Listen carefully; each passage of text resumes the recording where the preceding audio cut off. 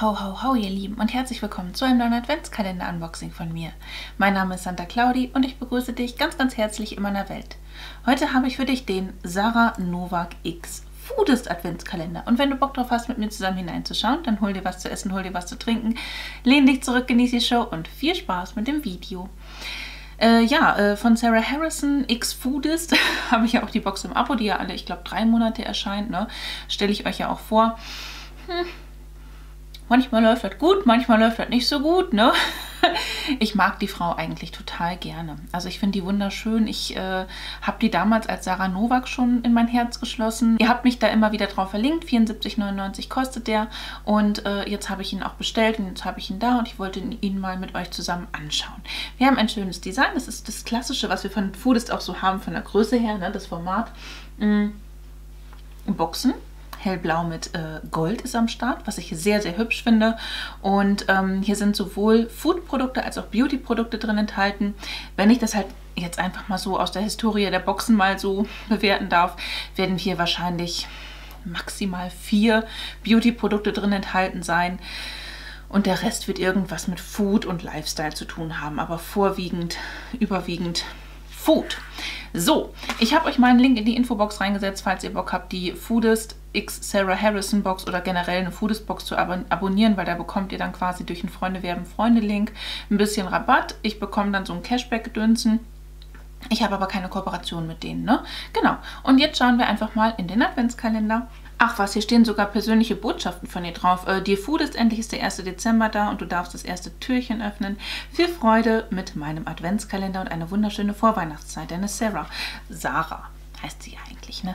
Aber ich äh, finde das schon mal ganz gut, dass man da auch so ein bisschen eine persönliche Note mit reingebracht bekommt. Ob sie das jetzt wirklich selber drauf geschrieben hat oder nicht, sei mal einfach so dahingestellt. Aber es gibt auf jeden Fall der Person, die den Adventskalender auspackt, ein schönes Gefühl. So, hier habe ich äh, The Beginnings 25% Mango, glutenfree und vegan, ein Mango und Chia Gedönsen. Noch stehe ich vor meiner Geburt, Leute. Meiner Geburt vor allem. Vor der Geburt, wahrscheinlich, wenn ihr das Video seht, ist äh, Mr. Bauchi schon da. Kommt in die Kliniktasche, wisst ihr Bescheid. Da kommt aktuell alles. Alles, was Riegel heißt, kommt da rein. So, dann habe ich die Nummer 2. Darüber, darüber freuen Foodies sich. Achso, und hier sind dann einfach so generell so ein paar Infos immer drauf. Stand aber auch, glaube ich, auf der Homepage, ne, dass da so Rezepte am Start sind und so. Ähm, Haferhaps. Ach, guck, Himbeere. Nur fünf Zutaten. Sowas finde ich auch immer ganz cool kann man theoretisch auch selber machen, aber vielen Leuten fehlt einfach manchmal die Zeit. Ne? Glutenfrei, ähm, handmade und vegan.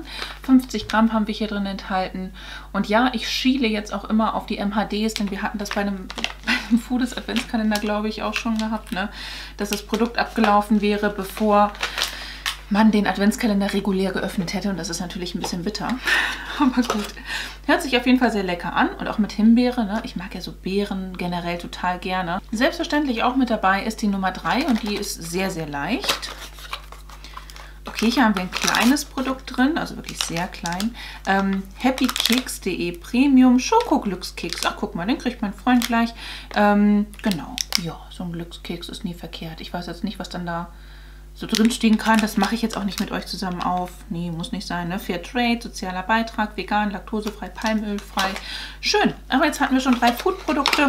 Jetzt würde ich sagen, in der Nummer 4, die haben wir übrigens in der goldenen Mitte, also hier darf auch gerne mal was anderes als Food drin sein. Ne? Weil klar, Food ist X Sarah Harrison, aber so ein bisschen, ich meine, da war auch ein Bild auf der Homepage mit ihr und einem Lipstick, ne? Hm. Okay, also Chocolate Covered äh, Coconut, das mag mein Freund nicht, das esse ich. Das ist wie so ein Bounty, wie ein veganes Bounty mit 30 Gramm von äh, rubar.com. Ja, ist auch wieder ein Riegel, ne? Also, ja, 75 hm, Euro jetzt brauche ich mehr. Komm, komm, hau raus hier. Richtig groß ist die Nummer 5. Da ist sicherlich kein Beauty-Produkt drin. Ne, da haben wir eine Mini-Tüte Chips. Sowas finde ich auch immer ganz cool. Esse ich auch echt gerne. Eat Real. Quinoa-Chips, Sun-Dried Tomato and Roasted Garlic. Also Tomate und gerösteter Knoblauch. Ähm, ja, 22 Gramm, das ist halt wirklich eine kleine Portion, finde ich persönlich aber aktuell sehr angenehm, denn das ist genau die Portionsgröße, die ich aktuell auch gerne einfach esse an Chips. Ja, ansonsten bin ich irgendwie super gesund unterwegs, esse mir dann lieber einen Apfel oder so, ne, oder einen Riegel. Ähm, ja, Aber komm, Nikolaus muss jetzt echt wieder ein bisschen knallen. Denn das sind jetzt echt Produkte, ich habe euch ja die Werte auch so ungefähr eingeblendet, die haben jetzt nicht so den ultimativ krassen Warenwert. Nikolaus, die Nummer 6. Hört sich nicht an wie ein Beauty-Produkt, aber es ist ein bisschen schwerer. Oh, sowas finde ich hübsch. Doch, das ist wirklich hübsch. Das sind Happy Sprinkles, Spread Happiness, Winter Wonderland by Sarah. Okay, da war die auch irgendwie mit beteiligt. Special Edition, Streudekor, 90 Gramm sind hier drin enthalten. Und happysprinkles.com, da muss ich mal gucken, ne, was ich da für, für einen Wert halt für für rausfinde. Ähm, ist auch so Gold und pastellig und Schneeflocken und hübsch und äh, Goldene Tannenbäume sind damit am Start. Also das ist schon weihnachtlich, mag ich gerne leiden. Passt auch in die Nummer 6. Doch, das ist ein gutes Produkt, ne? Ja. Direkt daneben ist die Nummer 7, die sich anfühlt, als wäre gar nichts drin. Oh. okay. Ähm, das ist jetzt von ihrer eigenen Marke, von Samian, ein äh, 10 Euro Gutschein. Aber Leute, Mindestbestellwert 50 Euro. Das finde ich nicht gut. Das finde ich wirklich nicht gut, muss ich sagen. Ich habe aktuell von ihr auch in Anwendung den Cleanser. Das hatte sie ja auch schon mal in einer ihrer Boxen mit reingepackt, in einer kleinen Größe und so, ne? Aber da von ihrer eigenen Marke einen 10-Euro-Gutschein reinzupacken mit einem Mindestbestellwert von 50 Euro. Sorry, aber da muss ich 40 Euro dafür ausgeben und die Produkte sind ja halt auch nicht so super günstig. Nee, so, die Nummer 8 soll jetzt bitte machen, dass es kracht, aber es hört sich nach etwas an, was praktisch ist, aber wo ich jetzt nicht, ja, ja, wo ich jetzt keine Luftsprünge mache, und zwar einen Keksteigausstecher. Von Neretz, äh, die besitzen in Tschechien, das ist eine Schneeflocke. Das ist hübsch, ja schon, ne? aber irgendwie Nee, nee, nee, nee, nee, nee, nee, nee. Also was ich jetzt so gar nicht feiern würde, wäre, wenn die dann jetzt auf einmal, also wenn die wirklich so Tüdelü Tralafitti hier drin haben und dann ein Avant-Produkt oder so nur reinhauen, weißt du? Das halt einfach 100 Euro wert ist und den Preis oder Wert einfach nach oben schnellen lässt. Aber wir gucken mal weiter. Denn hoffentlich werden wir uns mit der Nummer 9 ein bisschen mehr über den Inhalt freuen. Auch das ist ein Riegel.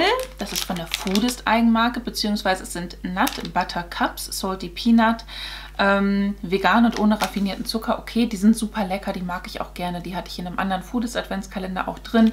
Sowas habe ich bei mir ans Bett gestellt und wenn ich dann halt nachts aufgewacht bin, das habe ich jetzt ja in letzter Zeit gerade öfters gehabt, ne, ähm, dass ich mir einfach sowas essen konnte. Aber ja, also so langsam sollte der Adventskalender auch mal richtig in Fahrt kommen hier, oder? Weil in der Nummer 10 sollte es jetzt auch ein bisschen anders weitergehen, meiner Meinung nach. Äh, das ist schwer. Und das ist von Funcake Sugar Paste Bright White, 100 Gramm. Okay, also wenn du die dann quasi so ein Fondant mehr oder weniger außen drum rum machen möchtest, wenn du richtig backst. Das passt auf jeden Fall zu, zu äh, Sarah Harrison, weil die ja auch super schöne Kuchen immer wieder postet und so. Also das passt definitiv, finde ich auch schön. Ähm, ja, kann man machen. Ich weiß nicht wie, ne, aber ich, also wie, viel sowas kostet, weil ich sowas nicht verwende. Aber ähm, ich denke, das hat auf jeden Fall einen schönen Wert und es war ja auch äh, davon gesprochen worden, dass in dem Adventskalender auch Produkte zum Backen drin sind. Deswegen finde ich das tatsächlich cool. Die Nummer 11, die erste Schnapszahl, bringt uns ein kleines, leichtes Produkt.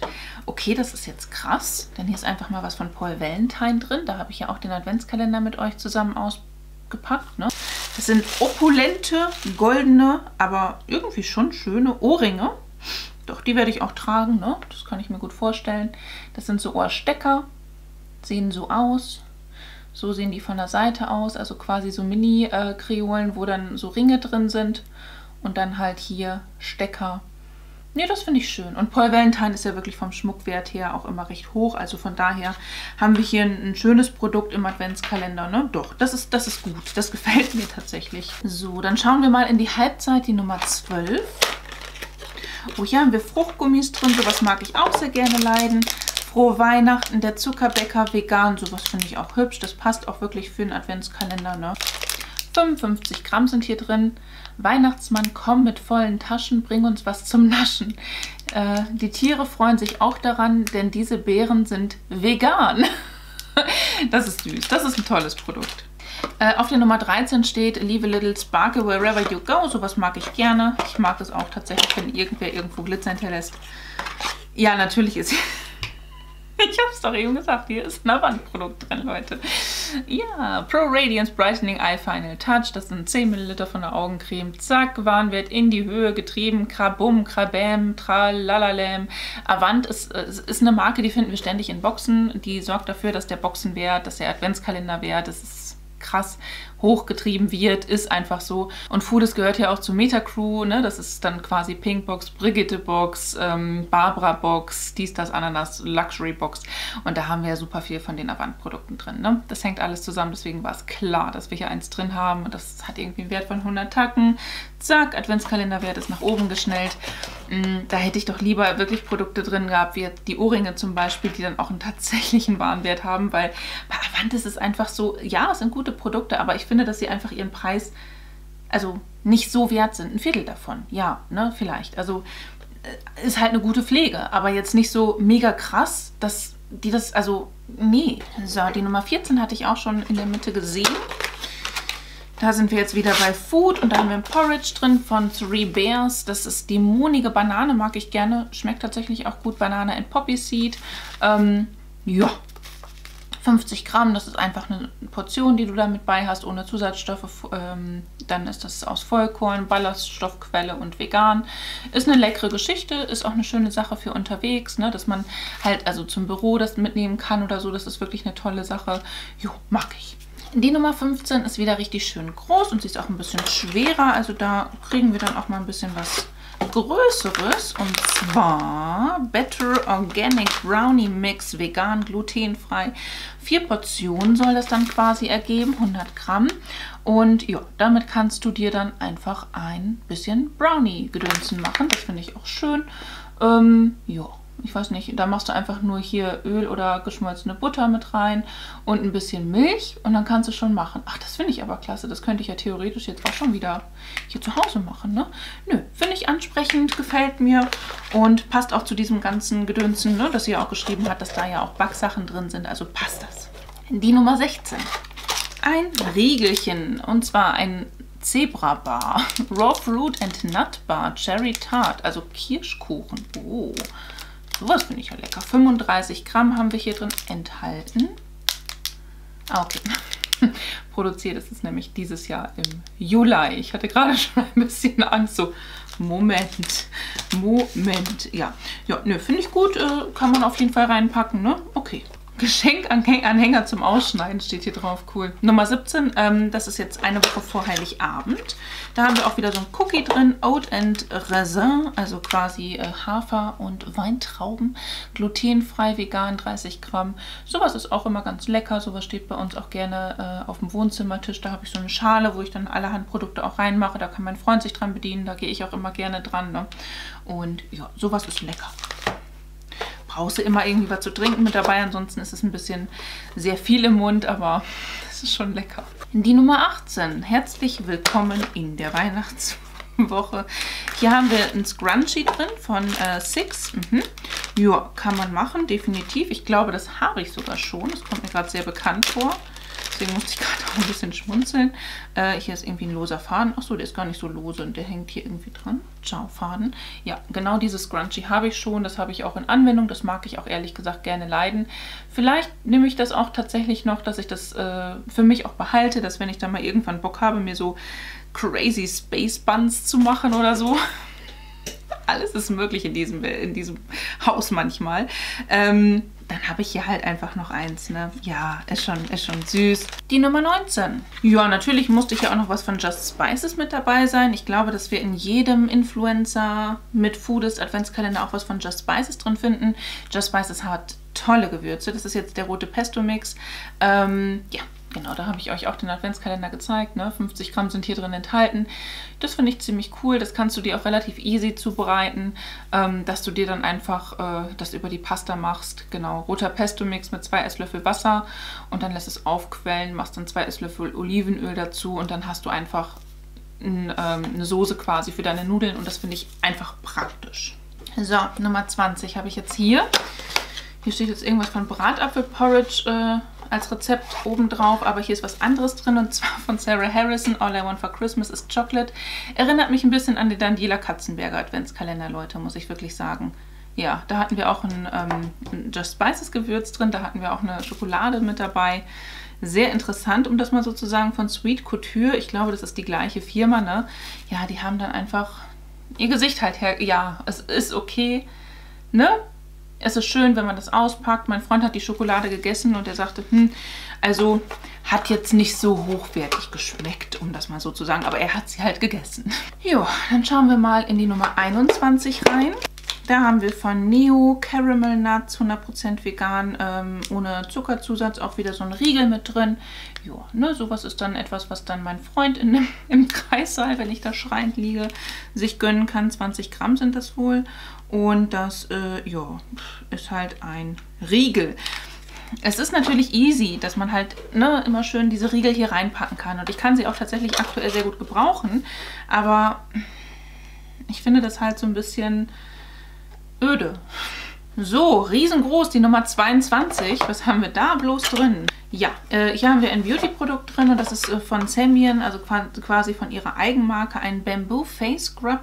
Ähm, ja, okay, also von ihrer Eigenmarke. 75 Gramm sind hier drin enthalten. Es ist auf jeden Fall cool, dass sie hier eine Full Size quasi von ihrem eigenen Produkt mit reingepackt hat. Da ist verschreckt doch einfach mal die Kamera ausgegangen. Auch gut, ne? Ähm, so, äh, ja, dann gucken wir mal. Also ich finde das nämlich auch gut, weil das halt einfach ähm, ein eigenes Produkt von ihr ist. Es ist auch ein richtiges Produkt von ihr drin und nicht ein Gutschein. Ähm, bei dem Gutschein hätte ich zum Beispiel mir gewünscht, dass da einfach dann kein Mindestbestellwert bei gewesen wäre. Wisst ihr, was ich meine? Oder du hast halt einen Gutschein für ein Produkt im Wert von 10 Euro aus ihrem Shop. Ich weiß ja nicht, was die normalerweise so kosten. Ähm, hier muss ich einfach mal gucken. Genau, weiße Tonerde, Peelingkörner aus getrocknetem Bambus. Ähm, das ist eben die Sache, das ist ein mechanisches Peeling und das kann ich in meinem Gesicht leider nicht verwenden, weil ich eine sehr sensible Haut habe und einfach im Laufe der Zeit realisiert habe, dass ein mechanisches Peeling für mein Gesicht nicht geeignet ist. Ich habe euch hier auch mal in Kooperation mit Dalton zusammen ein Video gestaltet. Ich weiß nicht, ob mein Code Single Cloudy mit 30% Rabatt bei Dalton aktuell noch aktiv ist. Ich schreibe es euch mal in die Infobox, bis wann der gültig ist. Ne? Gönnt euch auf jeden Fall hart. Äh, jedenfalls habe ich da ein Video gemacht, wo ich euch verschiedene Peeling-Arten vorgestellt habe und natürlich auch die Peelings von Dalton. Ähm, Genau, also mechanische Peelings sind für Menschen mit sehr robuster Haut, mit einer öligen Haut, äh, mit einer sehr unsensiblen Haut sehr gut geeignet. Also für meinen Freund zum Beispiel. Also da kann ich mir gut vorstellen, dass er sich darüber freuen wird, ne? dass ich ihm das dann geben werde. Aber selber kann ich es leider nicht verwenden. Denn mit der Nummer 23 befinden wir uns jetzt ja schon im harten Endspurt. Ne? Also das ist jetzt der Tag vor Heiligabend. Und da bekommen wir noch etwas, oh, ähm, womit wir äh, backen können. Das finde ich auch schön. Sowas mag ich gerne leiden. Das sind so Muffinförmchen, ne? 40 Stück, wow. Äh, aus Kakaoschalen. Das finde ich schön. Kompostierbar, recycelbar von Zenker. Nö, das, das kann ich jetzt gerade wirklich sehr gut und sehr lobend erwähnen.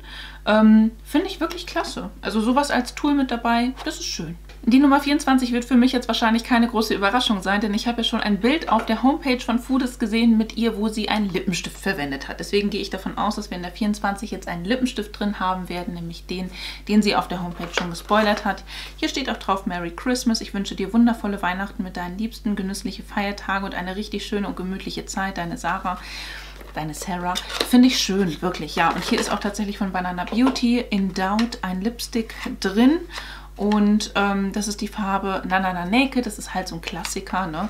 Finde ich ehrlich gesagt schön als Nummer 24. Und ähm, ja, damit habe ich gerechnet. So ein Ding kostet, ich glaube, 25 Euro oder 30 Euro. Sehr, sehr matt. Sieht sehr benutzt aus irgendwie. Okay, riecht aber noch gut, ne? Weil ich weiß nicht, ob ihr das sehen könnt halt direkt hier unten drunter, als hätte da jemand, das ist so streifig, ne? Da quasi schon irgendwie was dran geschmiert oder so. Naja, es ist auf jeden Fall ein sehr matter Ton, dementsprechend nicht unbedingt für mich geeignet, weil ich keine matten Lippenstifte verwende leider, ähm, weil ich halt so trocken unterwegs bin. Schade, ey. Ich sag's euch, Klasse, klassischer Lippenstift mit mattem Finish. Ich habe aber eigentlich Bock, den auszuprobieren. Ich muss noch mal drüber nachdenken, aber das wäre dann ja auch quasi, ja mehr oder weniger das Highlight des Adventskalenders, ne? Und die Nummer 24. Ja, der Adventskalender ist ungefähr auch genauso befüllt gewesen, wie ich ihn mir vorgestellt habe. Das mit dem Schmuck war jetzt eine kleine Überraschung, was ich sehr positiv tatsächlich fand. Ähm, von den Food-Artikeln her hätten es hochwertigere sein dürfen, meiner Meinung nach einfach. Ne? Ähm, aber ansonsten haben wir da auch einen guten bunten Mix drin. Natürlich werden wir hier einen schönen Warenwert haben, ne? weil Avant treibt das Ganze gerne in die Höhe, das ist uns klar. Aber äh, ja, lohnen sich dafür 75 Euro. Hm. Also, wenn ich mir das angucke, was ich hier vor mir liegen habe, nein, auf gar keinen Fall. Dann nehme ich lieber die 75 Euro und kaufe mir das, worauf ich Bock habe. Ähm, ist tatsächlich so, weil, ja, ne? Ja, es gibt Food-Adventskalender, die deutlich günstiger sind und die einfach richtige Full-Size-Produkte enthalten, wo man einfach mehr Spaß mit hat.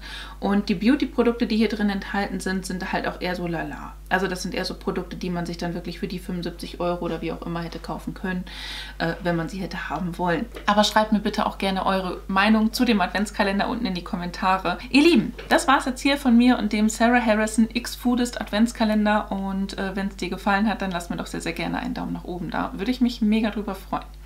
Ansonsten wünsche ich dir einen wunderschönen Tag, einen wunderschönen Abend. Lass es dir ganz einfach gut gehen. Fühle dich ganz doll gedrückt von mir. Ich verlinke dir mal hier oben meine Playlist mit den ganzen Adventskalender-Unboxings. Hier unten meinen neuesten Upload. Auf dieser Seite noch ein Video von mir. Und hier oben kannst du, wenn du möchtest und es vielleicht noch nicht getan hast, mich sehr, sehr gerne einmal kostenlos abonnieren. Ich würde mich echt von Herzen drüber freuen. Lass es dir gut gehen und hoffentlich bis zum nächsten Mal. Ciao!